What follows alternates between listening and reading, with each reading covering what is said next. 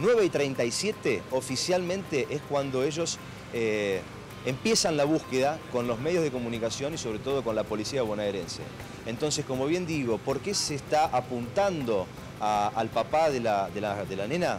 Porque este vecino, que es fundamental que dé su testimonio, eh, denunció que cerca de las siete y media de la mañana lo vio ingresar a la casa donde se encontró a la joven.